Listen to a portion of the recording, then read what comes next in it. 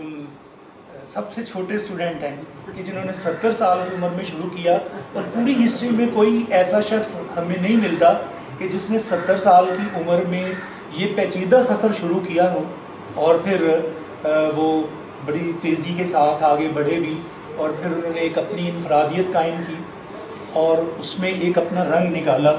खसूस जो इनकी कंपोजिशन का अंदाज़ा ये थोड़ी सी फ़नी चीज़ें हैं तो शायद आम बंदे को इसकी समझ ना आए तो इनके हाँ शुरू में ये था कि ये जब अलिफ में भी लिख रहे होते थे तो उसमें कोई ना कोई एक नई कंपोजिशन करके ले आते थे। और जो है वो सामने रखते हैं कि ये देखें। तो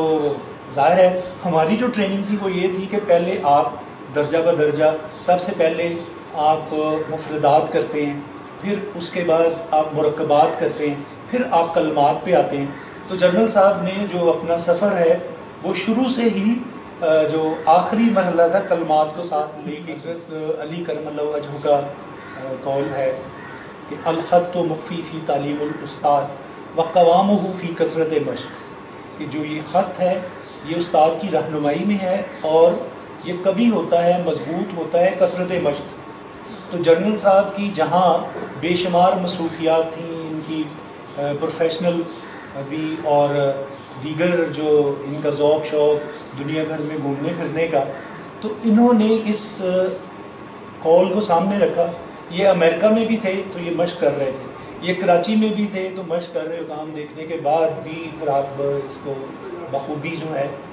वो अंदाज़ा कर सकेंगे कि माशा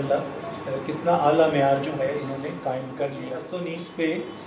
बेशुमार जो है